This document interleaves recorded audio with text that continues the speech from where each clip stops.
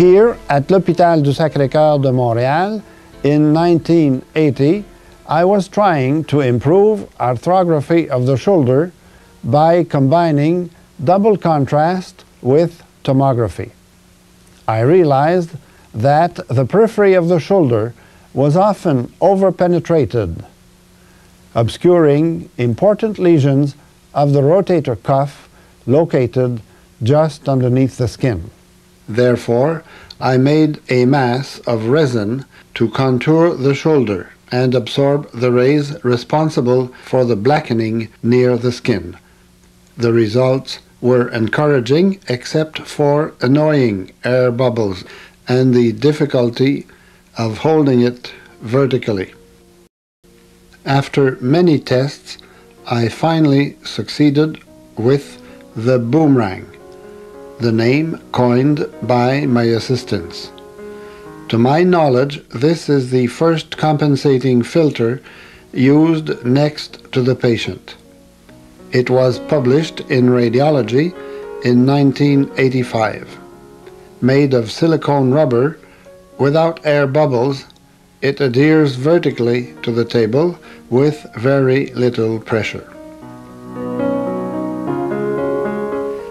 More models soon followed. Up to the famous Ridges Plus, which greatly improved digital arteriography of the lower extremities, including the feet. Any new technique requires new information explaining advantages, particularities, and ways to avoid pitfalls. So I grabbed my camera, designed scientific exhibits, and with my son Jacques attended the RSNA every year and other important meetings.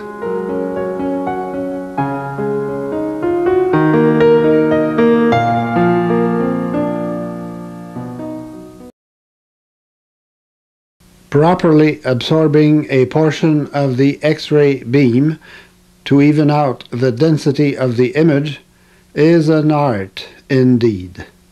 The problem is this. The main part to be examined is thick.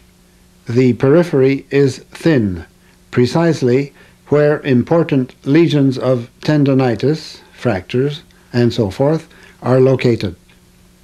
Ideally, we would like to surround the thin part, front and back, with a substance having an absorption of 1, such as water. Fortunately, it is more practical to use an object having an absorption of 2 and place it on one side only. To prevent artifacts, do not tear the thin edge with the fingernails.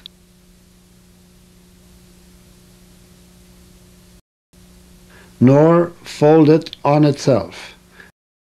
It gathers dust easily, which makes it slippery, but wiping it with a wet cloth causes immediate recovery of its adhesiveness. It holds vertically with very little pressure, as here by rotating the shoulder slightly.